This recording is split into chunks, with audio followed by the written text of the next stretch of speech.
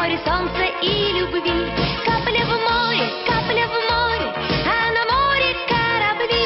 Капля горя, капля горя, в море солнца и любви.